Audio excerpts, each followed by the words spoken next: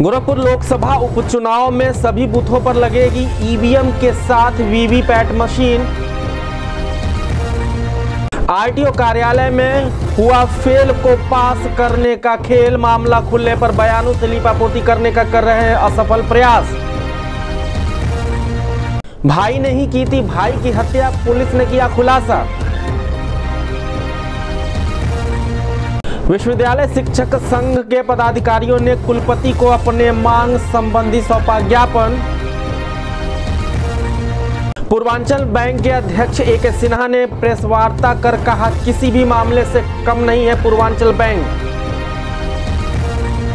असलहा बनाने वाले गैंग का पुलिस ने किया खुलासा, चार गिरफ़्तार।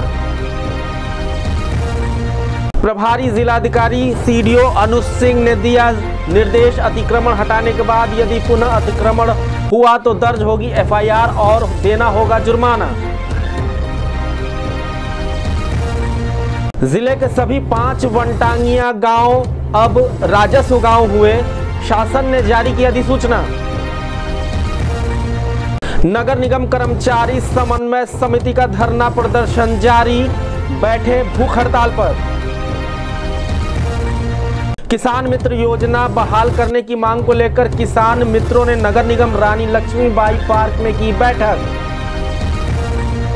और गुरु गोविंद सिंह का मनाया गया प्रकाश पर्व, युवाओं ने किया शौर्य प्रदर्शन।